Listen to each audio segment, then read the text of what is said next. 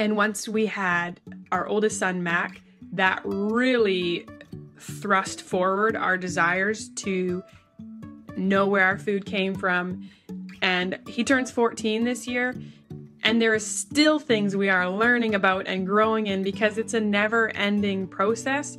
We are lifelong learners. We always want to be learning and doing something mm-hmm. new. To stop learning, to stop trying new things is just a soul death that I have mm-hmm. no desire to experience.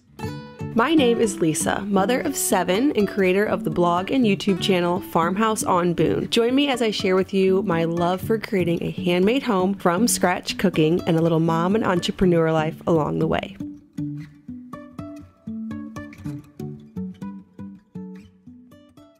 Welcome back to the Simple Farmhouse Life podcast. Today I'm having on Kate from Venison for Dinner. She's been on this podcast before. She's also a real life friend, and I ask her my cheese questions. We talk about kids and how we do as a fellow business owner. So we're both moms who have content creation businesses, YouTube, blogging, Instagram courses. And we have very similar lifestyles. When you find a friend like that, you know, there's not very many people in your life that can relate to the dynamics of that. And so she's become a, a real life friend. Today we're going to talk about cheese making and, and home dairy, but then we're also going to talk about some of that stuff, like the the business and some of you are curious. And in the interview, we we talk about how it's not for everyone. And that is something I definitely want to give you permission to. You know, a lot of times it's just because we can, you know, we all have access to the internet it's like we think that we all should have a YouTube channel, we should all have a blog, and that is just not the case. It is not for everyone. But, anyways, we are going to be talking about that too, just because if we were to go meet up for coffee, if she didn't live up in Canada, I'm sure that is where the conversation would lead mom life, business life, how that all works. So, let's dive into the interview. Well, thank you so much, Kate, for joining me. I'm excited to have you back on. This time, we're going to talk more about something that is currently very interesting to me, and that is home dairy and all the things that I'm constantly texting you and referring to your course about. So that should be fun. Let's start by just introducing yourself for those who don't know you. I'm sure most in my audience already do. But yeah, tell us about you and your family and what you offer. Sure. So I'm Kate from Venison for Dinner, and I live in northern British Columbia, Canada. I have five kids, and my husband and I both work for Venison for Dinner, so we're both at home with our kids all the time. And we homeschool and we homestead, and homesteading for us started as we wanted to eat good food and we couldn't afford to buy it. So we decided to try raising it ourselves. And while I'm not sure that always saves us money, there's the connection that you can't deny to your food. You know, you can't deny that connection to your food when you grow it yourself. It's so satisfying. Yeah. So I have venisonfordinner.com where I do raw dairy and sourdough and wild game and all things homemade and real food. And I also hang out a lot on Instagram where I'm I'm not afraid to say things that might ruffle feathers when it comes to food and parenting and homesteading and that's that's the place to find me if you like hanging out over there. Cool. Yeah. And as far as it being cheaper, that's always a question people always have. And I'm sure there are definitely ways that you can make it cheaper. But for me, it's also just availability. There's so many things that I can't get locally, I can't find them unless I do them myself, or at least not in the quantity that I want them for my family. And so that to me, just having the source is more important for me than even the, you know, whether or not it's cheaper because quality food, you just can't really compare it. So, yeah. Okay, so let's talk first about how you got started. Did you grow up on a farm? Did you always want to have a dairy cow and make your own cheese and be known as the cheese lady? Or how did that evolve? So, I was always really into raising livestock. I grew up in a family that was one generation removed from farming. So my grandparents farmed for a living. They still had most of the land and infrastructure, but no one in my parents' generation farmed. But I had the support and the knowledge from my grandparents. So when I was in my teens and I wanted to get different livestock, my parents were a little hesitant to start, but because we owned a chunk of land that had one of my grandparents' barns on it and we had fencing, we already had all the infrastructure. And they were like, you know what? Sure, let's go for it, especially since we had my grandparents next door who could answer questions and help us out. So I'm really fortunate that for the first, so until 2015, I had the support of my maternal grandfather, who I called Papa, who, you know, wasn't afraid to like very because he was older a lot of it was romanticized but that's okay with me that kept me going and when i met marius my husband he grew up homesteading from a different point of view. For them, it was about, uh, it was like sustenance because they were very poor. And if they didn't grow food, they were going to struggle. So Marius and I both had that common desire of growing food. And once we had our oldest son, Mac, that really thrust forward our desires to know where our food came from and he turns 14 this year and there are still things we are learning about and growing in because it's a never ending process. We are lifelong learners. We always want to be learning and doing something mm-hmm. new. To not learn, like to stop learning, to stop trying new things is just a soul death that I have mm-hmm. no desire to experience. Yeah, you strike me as the type of person who, when you want to figure something out, you don't have a lot of fear in going for that. That's something a lot of people struggle with. I've struggled with it with certain things. To have the confidence to try something that you just simply don't do. Like, there are just, I don't know, even getting a dairy cow, people have so many hesitations about it. It's just not normal to have a dairy cow. What has been, have you always been that way? Or is that a personality thing? Or has it just been, well, when I've tried certain things, I'm able to get past it. And so now I'm more confident to try other things? You know that country song that oh, I think it's called I'm Gonna Fly? And it's like, confident and cocky. Man, it really got me when I heard my daddy say, like that confident and cocky. Like th- that, I've had to like learn to like tamp that down a bit. And my oldest is the same way. And I'm like, man, you got to learn when to not speak. So it's natural. Like learn from my mistakes. You got. Mm-hmm. It's it's inborn in me. Like when I was three or four, my mom said she would just repeat to herself, the traits that are difficult in a three or four year old are prized in an adult to be independent, to have new ideas, to be confident yep. is very hard. I have one like that. I'm like, this is gonna pay off. Yeah, but it's gonna pay off when she's an adult. So my mom and my parents fostered that. My mom knew that that was, you know, not a bad trait, just a hard trait as a child, and she always told me that too. So I've taken that into my parenting as well. When I have kids that, mm-hmm. you know, will say different things or do different things, and you're like, kind of cringing a bit because it's almost awkward when it's a child, but you're like, when they're an adult, this is going to be great. Right. yeah. Yeah, it is. And so, I mean, I know because I have a similar personality. Like, I, I've been told, okay, you're fearless. Like, you just go for stuff. And it, it never really occurs to me that I wouldn't be able to do it.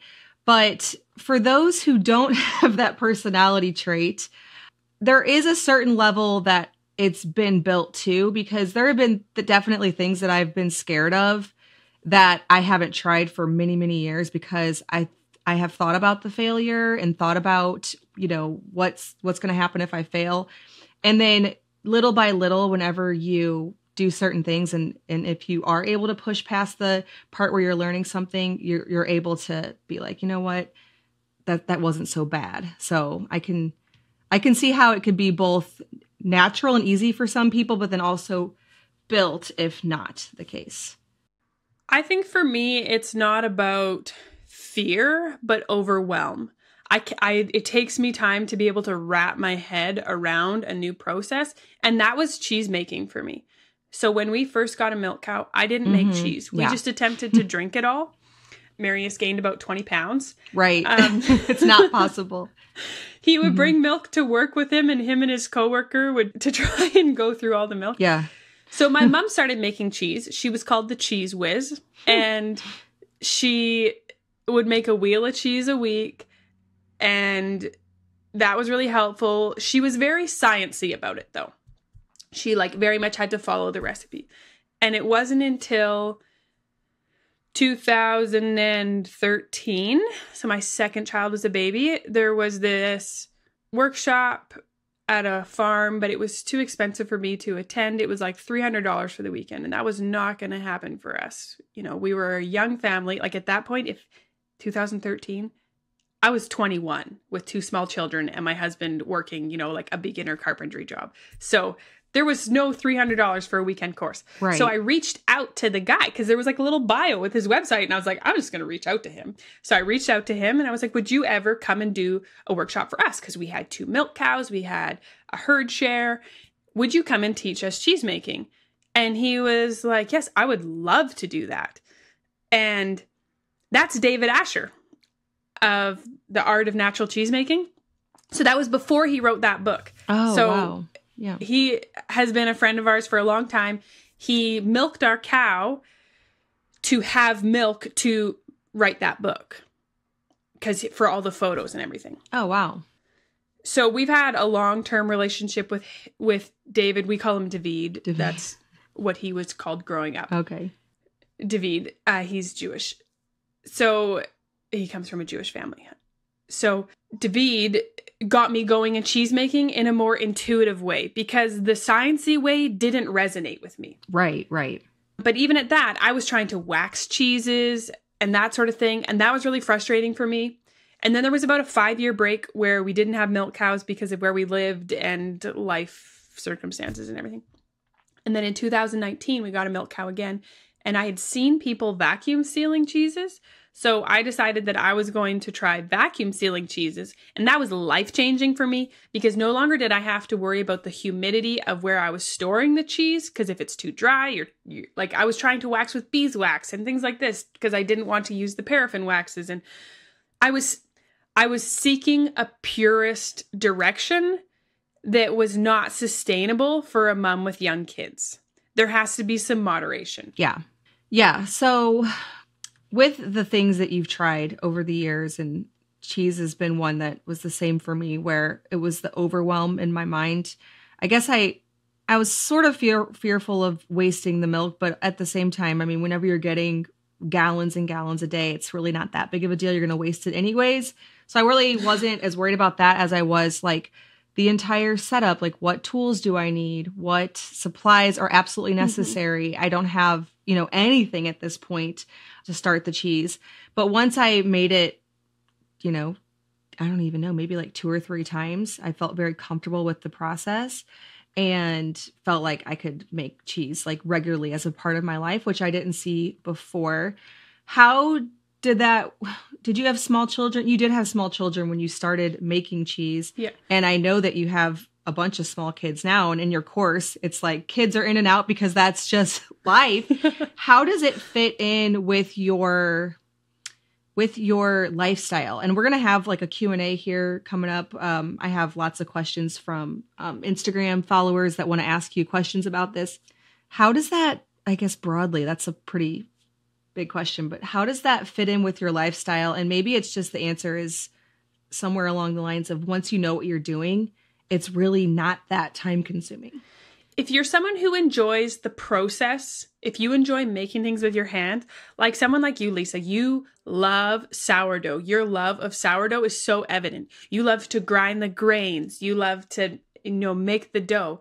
And I feel like that transfers into cheese making.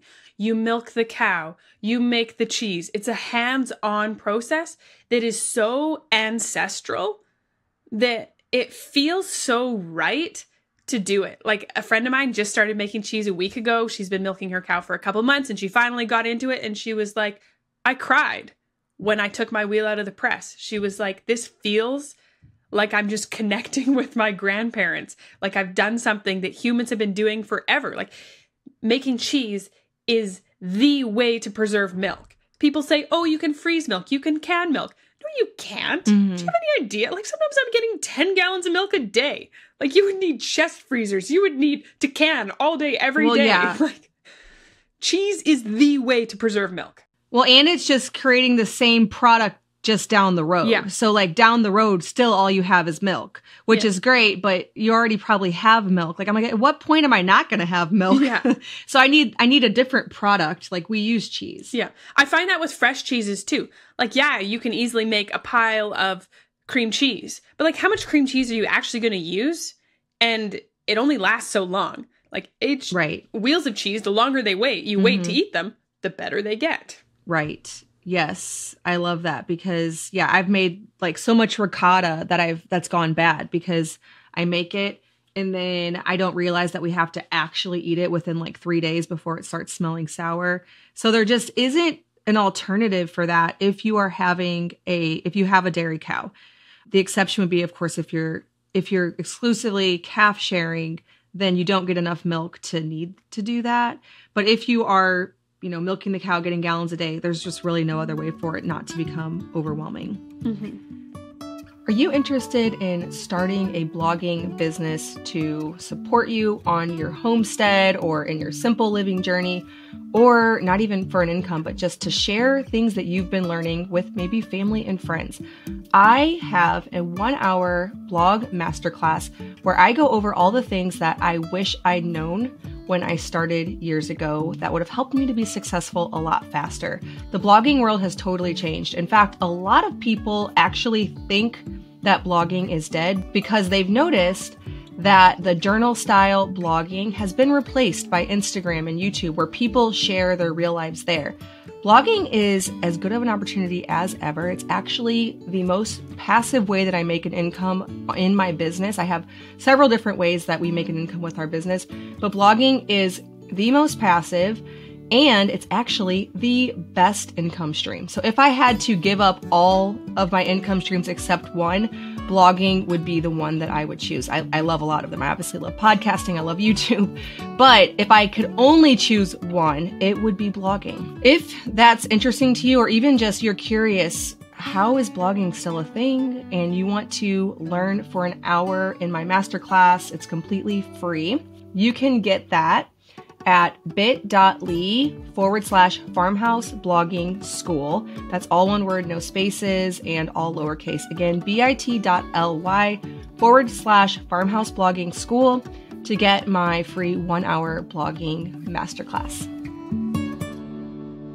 So, one of the other questions I had for you was what are some of the fails that you've had that you've learned along the way?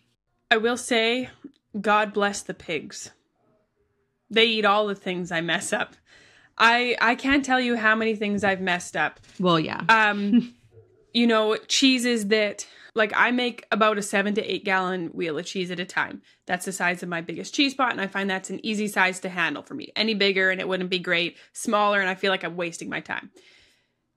I was making this big pot of cheese, and Marius was making soup, and he like crushes the garlic in, and broth is like bloop, and goes into my cheese pot. I kept making it.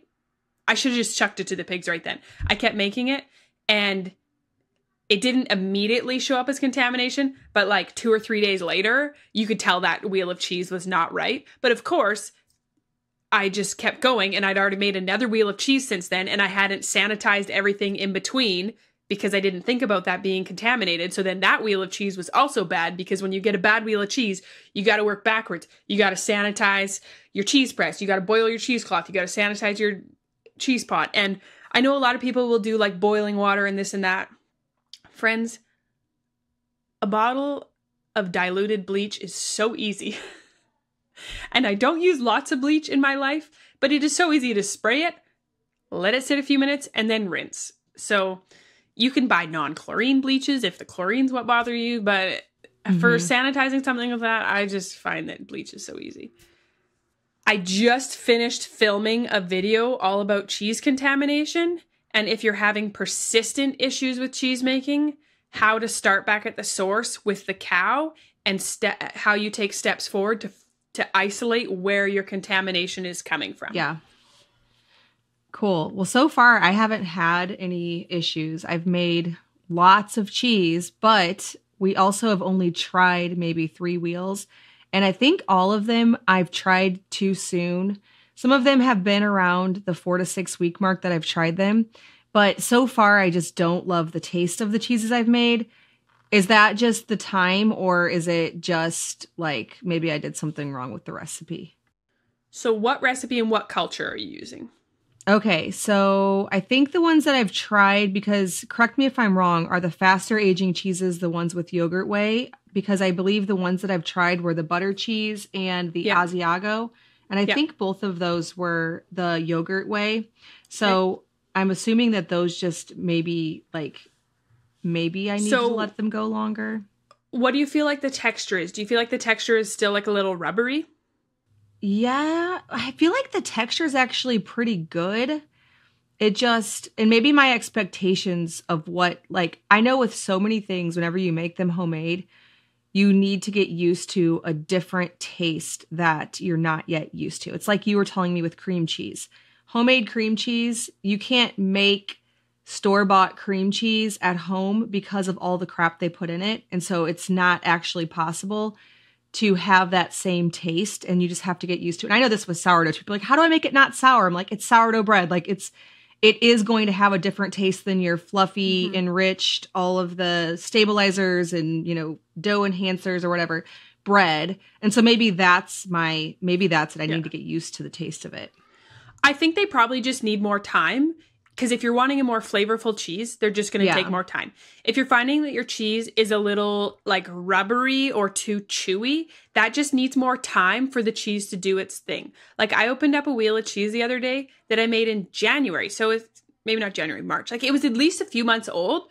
And I tried it and we had friends over and they tried it and they were like, oh, that's good. I was like, no, it needs longer. I'm like, see how it's got that like bit of a texture to it? That needs longer. And they were like, oh, that's what we're missing in our cheese making. We're eating too many cheeses when they still have that texture, thinking that's what it is. Like, no, you need to leave them longer if you have that bit of that Yeah. like chewy or rubbery texture to them. They just need longer. Yeah. And there's a lot of factors there, like the protein in your milk and the fat in your milk. And when you're making cheese with only, are you doing one or two cows right now? We're just doing one cow now, but at the time we were doing two. The, and the first wheel of cheese I made was in late April, Okay. so you you can tell we're not very far Yeah. removed at all. And this has been weeks Yeah. ago that I tried it. So when you're making cheese with only one or two or three cows' milk, you're very niche because the protein in their milk and the Mhm. fat in their milk and the caseins in their milk, these all contribute to what the end product is. And when you're working with like a hundred cows' milk, they kind of level each other out. But when you're working with only one or two cows' milk, they're very niche. Right. So you learn how your cow Mhm. and actually it can be kind of mess with your mind a bit because you you got it like nailed down and then you get a new cow and you're like this milk acts totally different and now like a friend of mine we could not make mozzarella with her cow's milk we tried so hard and it broke my brain Yep, I have a cow that I could not make mozzarella with. Not my Jersey, but my other one. And she just gave, she was like, that's fine. I don't need to make mozzarella. She got into making wheels of cheese. And that was, she's, I, her and I, we, most people I know actually prefer to make a wheel of cheese than mozzarella once you learn to make a wheel of cheese. So then she did that, but then she got a new cow down the road and she sends me a picture of this I big agree. stretch of mozzarella. She was like, hey, look. Yep. And it's just some cows, the pH and the protein and the casein just doesn't work. Mm-hmm. Yeah. I had the same experience with one of my cows. I noticed I was trying to always make mozzarella with hers because I don't I didn't love the taste of her milk, whereas I loved the other one. So I was like, well, I'll just use hers for mozzarella. Never worked. Every time I used the other cows, worked great. And I'm like, so clearly I'm not always doing something wrong whenever I'm using her milk. There's something different about her milk. And I will also completely agree that I thought mm-hmm. mozzarella was the easy cheese until I made wheels of cheese and not that not that the process I mean there's more tools and steps involved but overall I feel like I've never had a fail with it not saying I can't but it's very straightforward process whereas like the mozzarella I've had go wrong more often than a mm-hmm. wheel of cheese. So I'll agree with that that I thought it was such a beginner cheese till I tried it.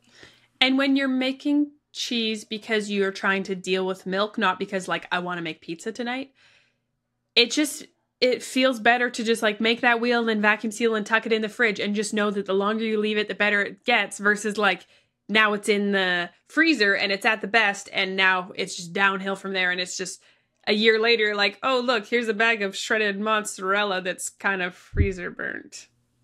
Right. Yeah. And usually, too, with mozzarella, I am making it because I want it that day. I want to make pizza tonight. That's why we're making mozzarella, which I'll still I'll still do. But I do find that the process fits a little bit more easily with the with the wheels because there's so many steps where there's nothing in between. Like I know that I can get this going, go do this thing, which you talked about a lot in your course that, you know, okay, now I'm going to go do this or that with a friend or I have to do this outside or whatever. And there's so many spots throughout the cheese making process that you have time to do a lot of stuff, which is how you figure out how to fit it in.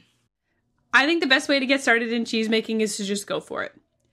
Accept that you're going to have mistakes and that you're not going to necessarily make it perfect the first time.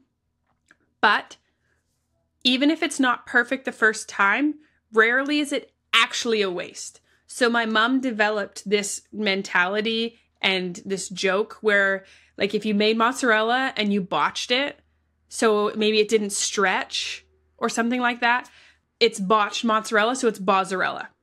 So maybe she made Gouda and she like heated it too hot or something like that and she botched it, it became Buddha. so maybe you can't use it how you originally thought you would be able to, but maybe you can mix it with another cheese and put it on nachos, or you can put it in a lasagna, or maybe it turns out to be like one of the best ones you ever made. Like I made this one wheel of cheese that I was like, oh, I messed that up and I pressed it funny. Like my press even like went like this. The cheese was like this shaped on top. Like it was like, sorry, if someone's listening, it was like a 45 degree angle on top. I vacuum sealed that thing, threw it in the fridge. I was like, whatever. And like a year later, right. I was like, here, let's try this. And Marius says, like, this is one of the best cheeses you've ever made. And I was like, well, I heavily messed that wheel up. and I have no idea how I did. And I just decided to vacuum seal it and forget about it. Yeah. Yeah, that's so true. All of the mozzarellas that I was telling you that that one cow made that was so bad, we still used all of it. It just wasn't, we just like plopped it onto the pizza or whatever I was making. It wasn't stretchy. It didn't form a nice ball but it still melted. And actually, we did do nachos too. I'd mix it with some other cheese, did nachos.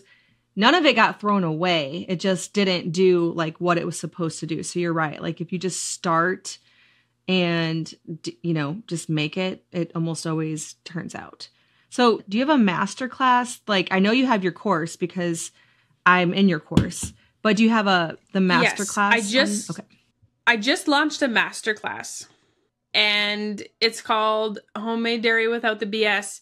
It's for the DIYer who's fed up with their grocery bill. So it could be that you have a milk cow, it could be that you have a herd share, it could be that you like to find on sale dairy at the store and you want to do things with it, right? You know, the clearance dairy, what could I do with it? The course goes through how we got started in cows, how we were given our first milk cow, and it goes over the story of that. We were dating and we were given a milk cow. Interesting. So then it goes over some basic milk cow care and some things to think about with a milk cow. And then it goes into uh, how we make all the different dairy products other than cheese. Because cheese making is covered in my course. I have a free cheese making course called Clabber Culture without the BS. And that is uh, if you're into natural cultures and sourdough and fermenting and you want to get into cheese making, Clabber will feel very right for you because Clabber is in that same line of natural fermentation and processes. And then I have a paid cheese making course as well that has a lot more recipes to it. Cool. So yeah, we will link those in the show notes in the description box so that if or are they on your website pretty accessible? They are. If you go to venisonfordinner.com, that masterclass is it's only like a couple boxes down on the front page. Okay, cool. Yeah, so they will also be linked below, but if anybody wants to just go straight over and figure it out, it's over at venisonfordinner.com.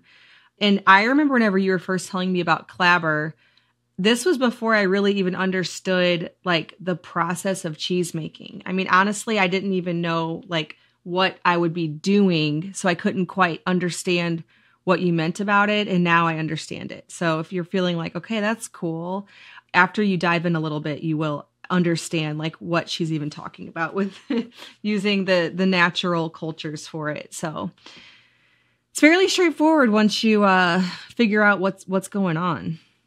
Let's, Should we hop into those Instagram questions? I have the list up as well. Yes, I was thinking the same thing. Let's dive into some of them. I don't think we're going to get to all of them, but yeah, let's dive into some of them. What people wanted to hear from you. No, there's like 30 yeah. questions here. yeah, there's a bunch.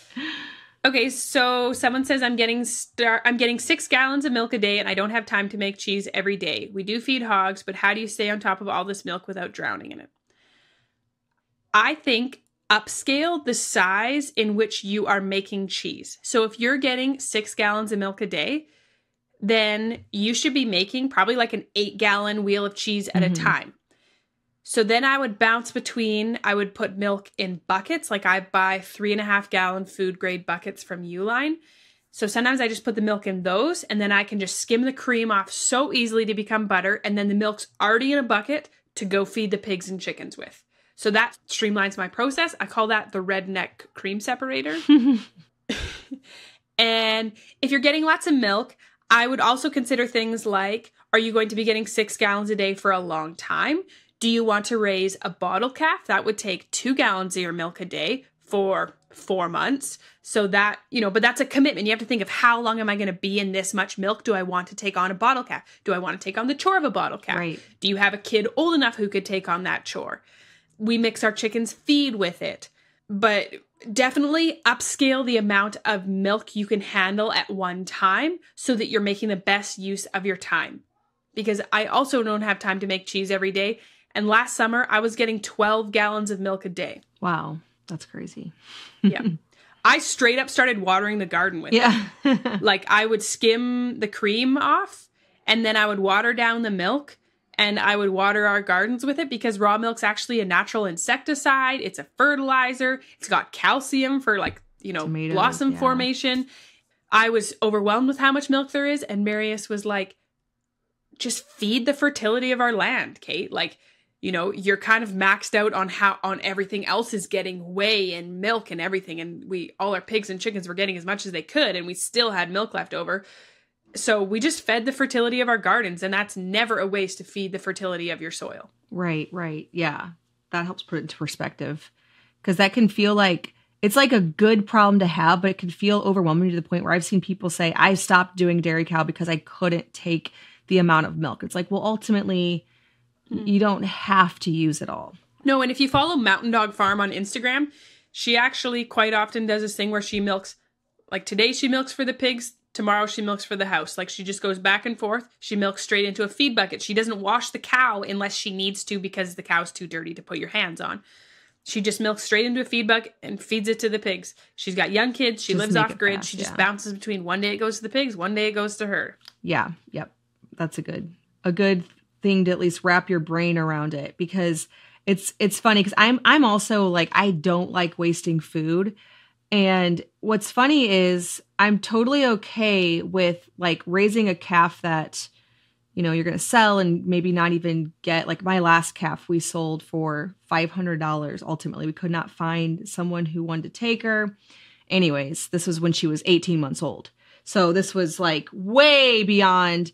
And it was okay when she was taking the milk at 18 months old but then when I have it in my possession, it's like, oh, I don't want to waste this, which is like, well, that doesn't really make any sense why I can like be okay with it there, but not okay with it when it comes to like raising an 18 month old mm-hmm. calf, which is not what you do with your dairy cow. Although last summer we weaned our heifer calf at six months old because we feed them milk till six months, which is longer than the dairy standard, but we weaned her. And then like a week or two later, my oldest was like, Mom, we're drowning in milk. Can we please just start feeding that calf again? Yeah. he's the one who feeds the calves anyways, and we were already feeding another one that I was like, oh sure. So we just went back to feeding her milk again. Yeah. Well, and that's totally fine. It's just weird, like mentally I was okay with wasting the milk kind of in that way because the calf would have been fine without the milk. So in a sense you're wasting mm-hmm. it. But then I'm not okay with like watering the garden with it, you know? And sometimes it's just like, okay, this abundance is actually not a bad thing. A friend of mine told me that she just had to adopt an abundance mindset about it. She was like, there's going to be more milk tomorrow. Right. Yeah. Okay. So some of the other home dairy questions. Is it cost effective to rate or to make your own cheese when you don't have a cow and you have to buy milk? Can you make it with store bought milk? And then, of course, there's always the safety questions. So let's start with the store bought milk. So, yes, you can make cheese with store bought pasteurized milk. There is a couple things you need to do differently, but I do cover that in my course because I had a friend who teaches cheese making with pasteurized milk include how to tweak my recipes, how to tweak recipes in general, the difference in them, so that you can make cheese with store bought milk. So it depends. What are you paying for the milk? Like, it's not cheaper to make your own bread a lot of the time.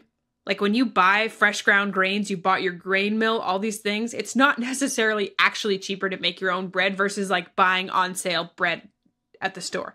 But if you value and are your soul is fed by making things with your hands, then you might feel that cheese making is something that is a hobby you really enjoy. And then is it cost effective? So if you if you're buying milk from a herd share and you're paying like $15 a gallon, I can probably tell you it's not cost effective to make a wheel of cheese unless you are buying that same quality of cheese, in which case you're probably paying like $30 a pound and then maybe it is cost effective. So, what is cost Mhm. effective Yeah. is a personal decision. Yeah, because a lot of times you're not getting like you're not getting the same product, and so when you compare store bought, just pasteurized, non organic, or you know whatever cheese, yeah, that's that's almost never in any way, shape, or form going to be cost effective. So that's why it's such a personal decision. Okay, so with the other cheese making questions here, do you want to go into some of those or do any of the productivity or running a business? I'm going to leave it up to you which which ones you want to dive into for our last like however, you know, 10 minutes or whatever. You know what? All that safety and everything, that can all be found on my YouTube channel. So, the contamination and how to know if your cheese is bad, that video, it might be out by the time this podcast is out. Right now, it's early July. It's going to be out in July 2023. So, look for that, and that will answer a lot of your safety questions. And as for aging cheese, vacuum sealing, rennets, all those sort of things. A lot of that's covered either on my YouTube channel or in my free cheese making course. So you don't, so we're just gonna let, you're gonna have to do some sleuthing there, but that information is all there. So let's talk on some other things. Okay. I have a YouTube chat, a, a YouTube video that's like Q and A about dairy animals, and it covers things like how much space do you have, and what do I wish I knew, and all those sort of things. So let's go into running a business. Okay, those are always fun. I think that's what we talked about last time and people enjoy it even if they don't want to start a business. It's just interesting to, you know, hear how it works because a lot of people are puzzled with how you know, you can have kids and get some of that stuff done. So let's see, are any of these questions intriguing to you? Yeah, okay. So there was two that I had strong reactions to when I read them before we started recording. Okay. The first one is how do you find time for your business with an infant? How do you schedule it when your husband has a full-time job? I have a 10-week-old baby and I can barely stay on top of laundry and dishes, let alone time for a business endeavor. Don't start a business if you are that burnt out and you have a newborn and your husband works full-time and you're overwhelmed. This is not your season. That is how I feel about that. yeah. Don't. Just don't. Yeah, you, you don't have to. You you don't have to. Not everybody has to. And that's the same. How do you run a business with littles? Older kids make sense, but so hard with ages 0 to 2. If you only have ages 0 to 2 and you have no support and you're not like needing to start a business because you're at poverty level and your family needs that income to buy groceries, don't do it. Don't stretch yourself so thin that you burn out before you even got started. Yeah.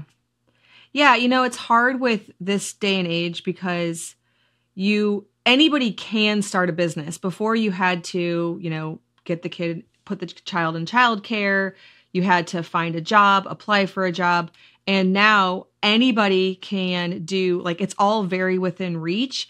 And so with that, it, it becomes hard to know should I? Like, this is a really incredible opportunity, but does that mean that it's right for me? And the answer isn't always yes. So I think people see the fact that, you know, I have little kids and I run a business. But friends, remember, my husband is also home full time. When I started this business, he was not. He did work full time. But my oldest was nine and he was a huge help.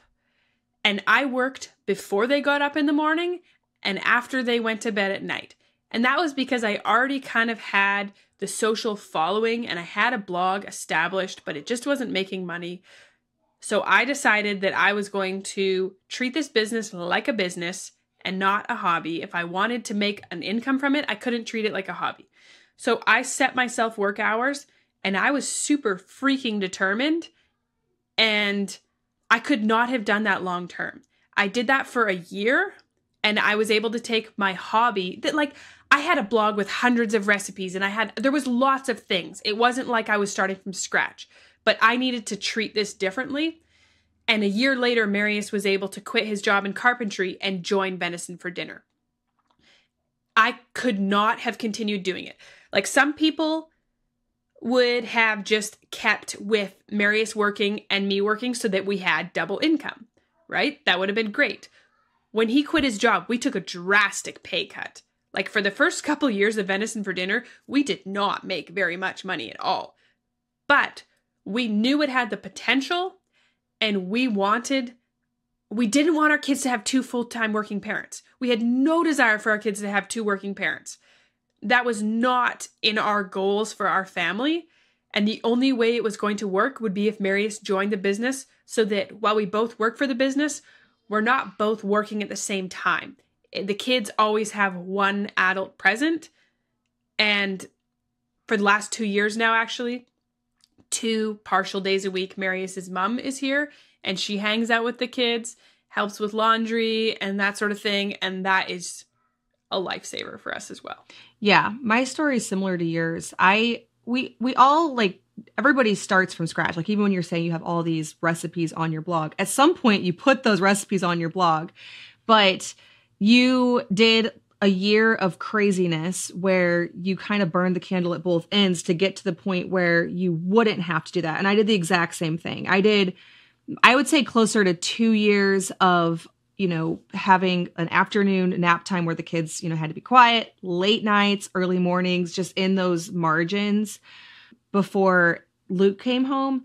And I definitely had the same mindset. Like, well, you know, it, at the time it wasn't earning like, I mean, it was earning more than his job, but it wasn't like super cushy. It was just that there's no possible way to do both very long term.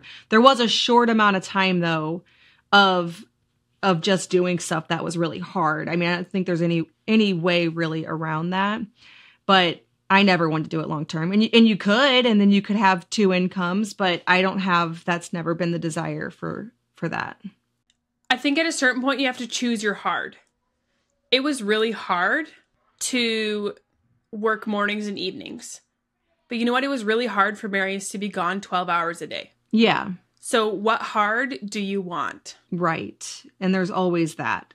I don't know. I think it's easy for people to see a situation where you're on the other side of that and just think, well, they already had this or they already had that. And the truth is, when you started it and whenever you put in those late nights, it wasn't it wasn't easy. And so I don't want anybody to take that away from you like, well, you know, she probably just always had like tons of help from her kids. I don't know, we always paint these realities that it would be easier for another person to do. Going back to you don't have to do any of this at all. Like it's it's okay if you don't want to. But if you do and you're thinking, well, but Kate probably had this or that or whatever, that might not even be true either. So I have two thoughts on that. One is the Lazy Genius book. Have you listened or read that book? I it was recommended to me recently, so I guess I need to now that it's been recommended twice. so I listened to that a year or two ago and I started listening to it again recently. Actually just yesterday.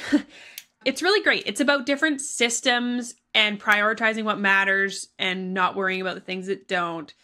And one of the things she says is like you'll see someone in the grocery store and they like look so put together and their kids are clean and in matching outfits and whatever and you're like oh but she probably like you know has this bad habit right? Like i'm not saying i i don't actually think i do that but you know you like try to justify like they look perfect but probably this is their yes, fault or whatever, exactly right, right? so you know that way of like justifying like well she can do that but i can't do it because of xyz and a lot of those things are very valid things. And I'm not just talking about working from home, but homesteading or cooking from scratch. And sometimes it's not it's just not your sis your season to do those things. Right. Yeah. But sometimes you just need to push through and figure it out. Yeah. Yeah. I know. It's it's a hard topic because there's always pushback when it comes to things like that because everybody does have different circumstances and so there will be things that uh, you know this because you're on the internet where yeah there are certain things you have that you know do make it easier but then there's also certain things that you've with your homestead that you've pushed for or with your business you've pushed for that actually you were kind of pushing uphill but yet you still managed to get on the other side of that and it's just really easy to think, like, well, but I could see if you had this. So, you know, which is, again, like, if you don't want to do it, no big deal at all. But pr- probably everybody had some kind of challenge, maybe even similar to yours, when it came to starting any of these things. Mm-hmm. And I did start YouTube with a young baby, but my young baby took a bottle and slept. I wasn't able to breastfeed anybody could feed her. And she just slept. And that was different than all my other babies before that. Like, I could have never done it with any of my other babies, but her, you put her to bed at night and she stayed asleep until like two in the morning. So I could just work for a couple hours. Whereas my other babies, the second I crawled out of bed, you know, you like unlatch yes. them and slowly move away. They'd be awake 15 minutes later. Yeah. And, and mine were all that way. And I, I just I did have to I mean and I'm not saying like well you know I just did it but in, in all reality I mean the truth is all of my baby I've had five six seven I'm all, I'm almost about to have and by the time this comes out I will have had the fourth baby since starting YouTube and they've all been co-sleeping attached babies. So I understand like I completely understand the struggle. And people like well you have older kids I don't give the baby to the older child late at night, you know? Like I don't no. They don't help in that way. Like yes, they can help clean up the kitchen after lunch, which is fabulous, and they they completely do. Like they do so many things. But like the baby is a hundred percent my job. And people will say that, like, well, you know, mm-hmm. old, people with large families, their kids raise them. I'm like, I don't know what you call raising, but that is not what's going on. No, for sure. And I think it would uh, it would more be like I would give my oldest the choice. Do you want to stay in the house and take care of the baby or go weed the garden? And he'd be like, I'll take care of the baby. Like not always, but he you know, you get the choice. Here's two right. jobs that need to be done. What yeah. would you like to do? I'll do the other one. So I could do things like go weed the garden that that was really cup filling to me. So mentally I was in a better place than just always being like sometimes when you're nap trapped and nursing so much, mentally you can struggle to have capacity. Yes, absolutely. Yeah, and my biggest key for with babies has always just been baby wearing. And then at some point and I'm in I'm in a season right now where this probably it's easier for me because I'm not in it like at this exact moment, which I will be when this comes out. But at this exact moment, my youngest child is 20 months. And so he has been sleeping well for a while now. And so, yeah, mentally, like right now, I'm not in that, but I've been in that many, many times over the last several years. It's awfully cocky of you to say you're going to have the baby by the time this is out. Uh, well, when is it coming out? Let me see. I don't know. I actually have no idea. Oh, I have to look at my schedule. Um, let's How see. many weeks are you? I'm 38 weeks already. Oh no, I will 100% have baby when this comes out. Okay. This is coming out in August. So the baby will be born like Okay. I mean, at the most four weeks from now, but I've actually never had a baby that late. So I think that probably I have next week to work. I'm like looking at my schedule on my Trello board because I organize all my content that way. And I'm I'm not very good at planning super far ahead. So Mhm. it's just occurred to me that okay, probably next week is my last week of work pending, yeah, the baby. So I'm trying to figure all that out. I mean, the day I had my last baby, I was bouncing on a yoga ball with my laptop, paying bills, making sure everything was up to date. Yeah, I don't do birth vlogs, but I have record of all the babies I've had since starting YouTube because I'm always shooting a last minute video. And with Theo, my last baby, who's 20 months, half of that last video I'm pregnant and then half of that last video I'm not pregnant because I shot like most of it while I was having contractions and then I had the baby that night and then I laid low for like 2 weeks and then I shot the rest of the video. So trust me whenever I say like I have 100% been in the thick of all of this through babies the whole time. I've totally I totally have. Yeah. I want to take a break from this episode to tell you about one of my favorite sponsors, and that is Toups & Co. Toups & Co. makes natural and organic skincare products that don't make you compromise on the quality. So they use ingredients that don't have anything synthetic or any of those chemicals that you find on the list of things to avoid like most products. Yet they actually work really great. I have a full face of Toups & Co makeup and of course you can go more made up by using the bronzer and the highlighter. I usually a lot of times on my daily wear just do the foundation, sometimes the concealer, the mascara I absolutely love and then I'm really into their eyebrow pencil because I'm not a makeup artist and it makes it really easy for me to do the whole eyebrow thing without really knowing what I'm doing. It has a little brush on the end and then a a liner on the other side that's angled and makes it really easy. They also have amazing skincare products. I love their tallow balm. It's incredibly moisturizing, yet uses tallow from grass fed cows, which you wouldn't think to use tallow on your face, or maybe maybe you do now because it's definitely gotten more popular. But the way that it actually makes its way into your skin versus an oily based thing like a coconut oil that I've done in the past that sits on top is incredible. It works so much better than a lot of the other natural moisturizers that I've tried. Plus, they have some really amazing scents. They also have cleansers, toners, the full line of, of facial care, but in an organic and natural way that you don't have to worry about what's actually in it. A lot of times, you know, we have these lists of things that we should avoid, and then whenever we look at all of our favorite products, they have them.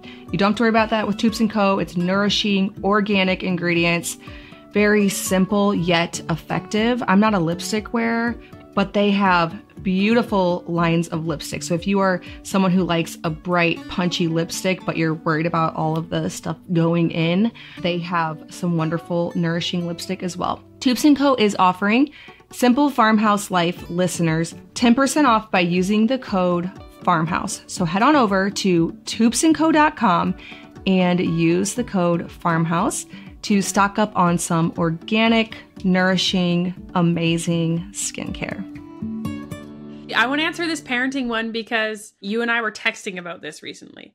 Oh, so yeah. My kids seem to need constant supervision and intervention. Do yours play well independently? Oh, that's a good one. So, yes, my kids play well independently. But we live in an area where there is a lot of Mhm. dangers, like wild dangers. So we're maybe not near, you know, it's not like our kids are going to run out on the street, although we are near a highway. We have a gate because we're right near a highway. But, you know, there's bears, there's all sorts of things that there's a certain level of helicopter parenting and needing to know where kids are so that, like, the toddler's not in the cow pen and the four year old's not in the forest on her own where there's like a mama moose with a calf, which is very dangerous. So, Yeah. yes, they play well independently, but there is a level of supervision. But when I only had small children, we had a door off of our kitchen that was not the entryway that you would come through. And we built, Marius made a seven foot tall fence. Like a use that like deer fencing, elk fencing, whatever you want to call it. Mm-hmm. Yeah. Seven foot tall with no gate to get out. And he made it like it was probably a couple thousand square foot yard. It encompassed some trees. We had a trampoline, we had toys, we had a couple garden boxes, and the only way to get in and out was through the kitchen door. Right. Yeah. And there was a big window at where I'd wash dishes and do cooking. Like this was only a like 1100 square foot house. It was a small house. And I could see most of the yard. But even if I couldn't see the kids, I knew they couldn't get out. They had to come back in. Right. And right. that meant that I could relax. I could read a book. I could cook dinner. I could work on a blog post. I could do these things without always needing to count heads on where the kids were. Mm-hmm. That makes such a difference. We've been talking about that a lot lately. I've been talking about it with my husband, with my sister, because it has occurred to me even more lately just how set up my current house is compared to my last house. So, my last house, unless the kids were in their room for a nap time or bedtime, I could not work on stuff. And I, I think now, like, why didn't we put up a fence like Mar- Marius did? Like, I guess it was budget that stopped us. But thinking back now, just how much more time I would have had if outside of my kitchen window, I set up a place where kids could play while I could see them. Because, yeah, when you have small kids, there is a huge difference between a mom who has everything set up so that the kids can play independently while she does a few other things and having to constantly watch. Like at my last house, we lived really close to a busy road and we were backed by a public park. So there was literally zero like letting the kids out of your sight. Even in the house, if they went out the front door, they'd be on the busy road. And so the amount of stress and counting kids I had then versus now is so different. And so it does give you there's just really something to be said for it that I think people forget about. Like your setup is really just gonna make like all the difference.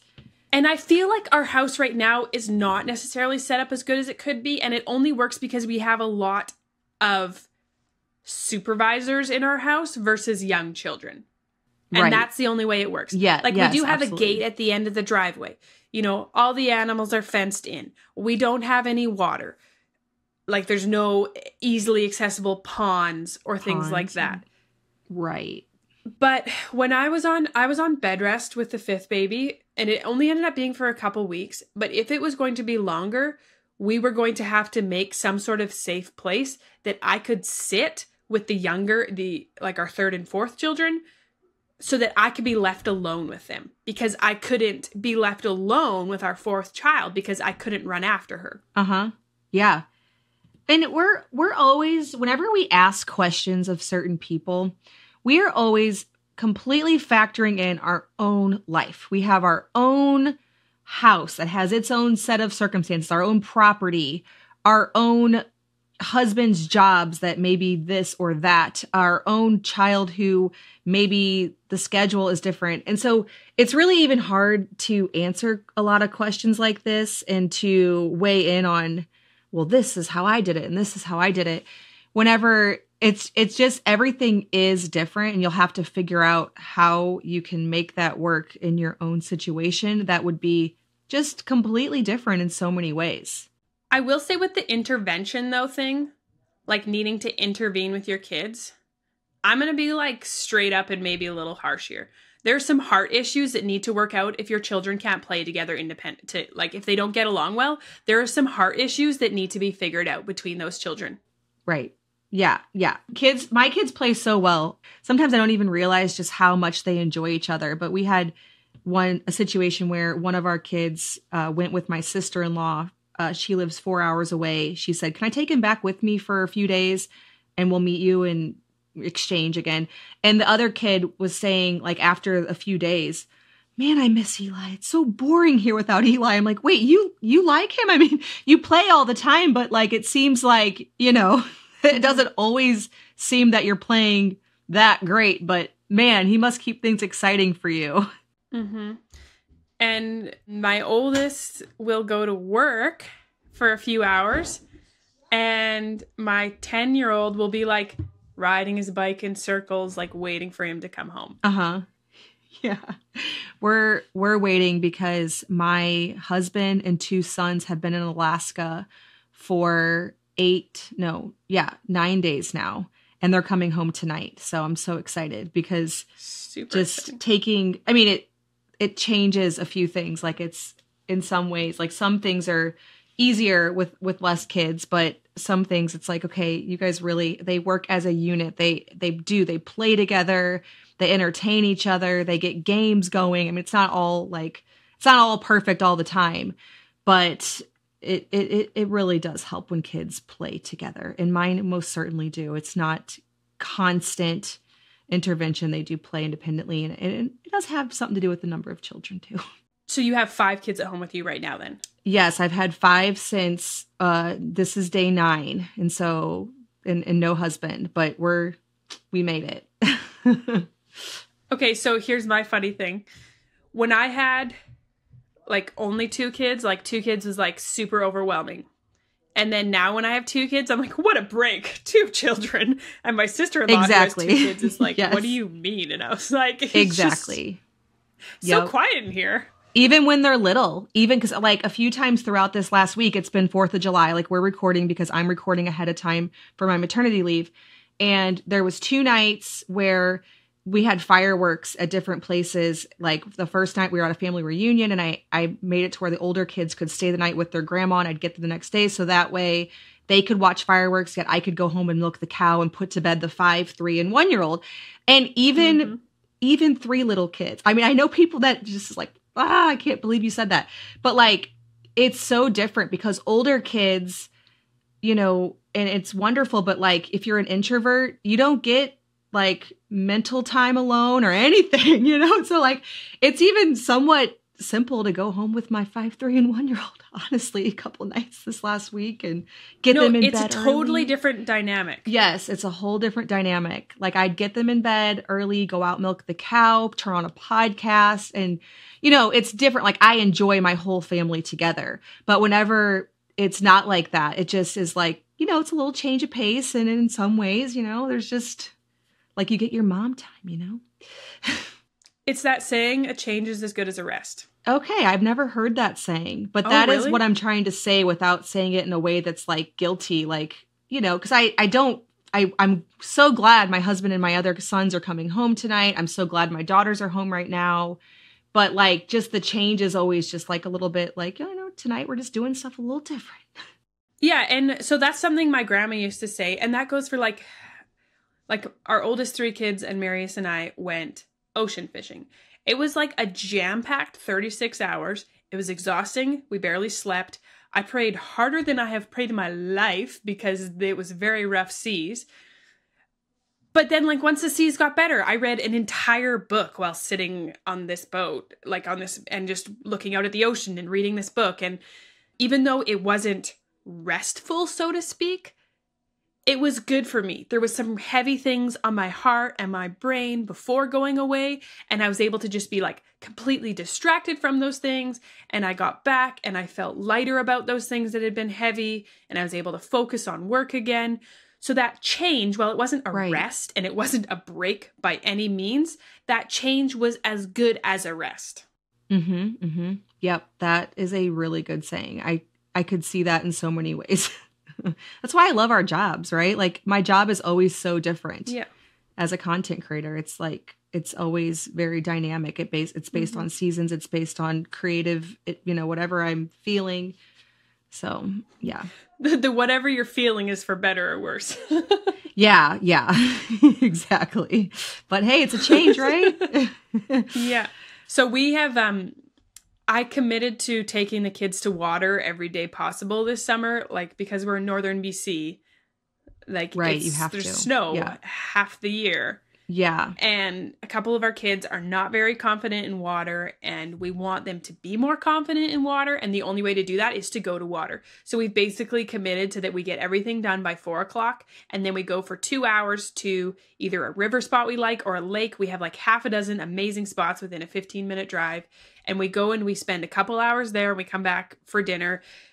And it's not like always a break but it's a change Mhm. and I bring my comfy camping chair and even though I'm still like doling out snacks and dealing with a toddler who's Right. not always super happy because he doesn't always love water, that change is as good as a rest for me and I can come back refreshed for dinner, milking, watering the garden, all that stuff in the evening. Yes, yes. I I do I have do the exact same thing. Like we're a few hours later than you, but we're I'm going to wrap up work soon here and we're going to probably go to the pool. We and I agree with you like you're still there at the pool watching toddlers and chasing them around and whatnot. But it still does feel restful when I come back home after yeah, I completely agree. I I think I live my life by that without actually even knowing that saying, but I like it. Yeah, and for me, that point in the day is like the witching hour. Or my aunt would call it the arsenic hour. Like you don't know whether to give them or yourself arsenic because it can be brutal. And my sister calls it the whiskey hour. Like, can't everybody have some? And but so that would be a time in the mm-hmm. day when I might be like, you know what, just turn on the cartoons. Just turn on the cartoons so that I can just like have a break. So instead of turning on cartoons, we're taking them to water. They're wearing out. They're my youngest two Right. are sleeping till almost eight o'clock in the morning instead of getting up at six. If they're swimming, and yeah. that right there makes it all worth it. yeah. Yeah, I know. I'm always like, okay, we're gonna leave right at about 3:30 in the afternoon, stay out till 6:30, bring you home so hungry, so tired, feed you and Yeah. put you to bed. That is like totally my summer Yeah. strategy. I love it. All right, tell us about where to best find you. I know you already mentioned Instagram, um, YouTube, your website, and then your upcoming offerings. I know you have your masterclass, so people can follow along. Yeah, so I'm venison for dinner everywhere. So I would love if you could come and find me. Come say hi over on Instagram. Come say hi on a YouTube video. And there's lots. There's so, there's so much. You can go down deep rabbit holes of all the content I have posted and never get tired of it. Yeah, yep, that's right. That's what happens when you've been doing this for so long. Awesome. Well, thank you so much for joining us. Thanks for having me. All right. Well, thank you so much for listening to this episode of the Simple Farmhouse Life podcast.